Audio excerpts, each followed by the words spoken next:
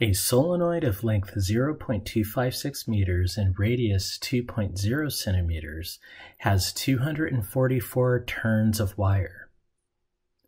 What is the magnitude of the magnetic field well inside the solenoid when there is a current of 4.5 amps in the wire?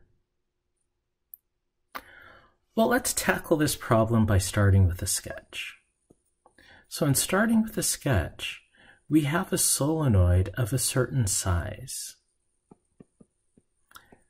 The length of this solenoid is equal to 2.56 meters, or rather 0.256 meters. And the radius of this solenoid is equal to 2.0 centimeters. The solenoid has 244 turns or loops of wire in it. The solenoid also carries 4.5 amps of current. Now I'll illustrate the current going from left to right in the solenoid. And I'll also indicate the orientation of the current as it passes, as it travels through the solenoid. So the orientation will be indicated by X's, meaning that the current is going away from us, and dots indicating that the current is coming towards us.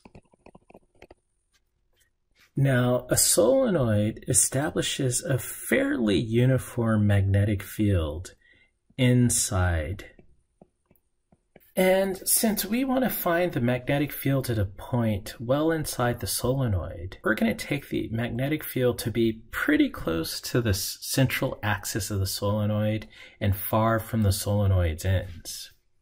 In doing that, we know the magnitude of the magnetic field will be approximately constant. And that's given to us by the number of turns of the solenoid over the length of the solenoid times mu naught times the current in our solenoid.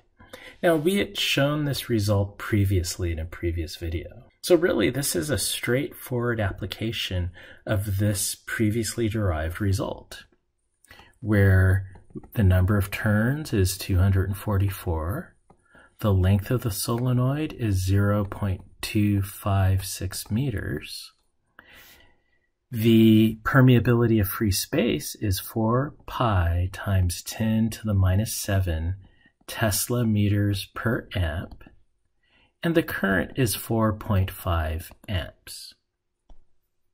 An amp in the numerator cancels with an amp in the denominator.